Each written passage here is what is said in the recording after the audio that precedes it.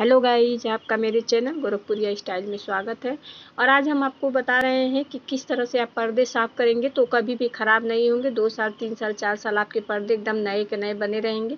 क्योंकि पर्दे का जो बीच में लगाने वाला होता है, वो अक्सर निकल जाता है, एकदम पर्दे अच्छे नहीं लगते हैं।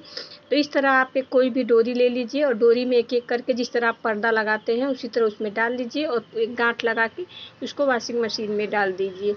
और उसके बाद जब उसको धुल, डालना हो तो बस डोरी में से निकाल के और छत पे डाल दीजिए। आपके पर्दे हमेशा नए और बने रहेंगे तो ये तरीका जो है, एक बार आजमा कर देखें। और वीडियो पसंद आए तो उसे लाइक, शेयर और कमेंट ज़रूर करें। न्यू हो तो सब्सक्राइब कर ले, बेल आइकन को प्रेस कर दें ताकि मेरा कोई भी वीडियो आप तक पहुँच सके।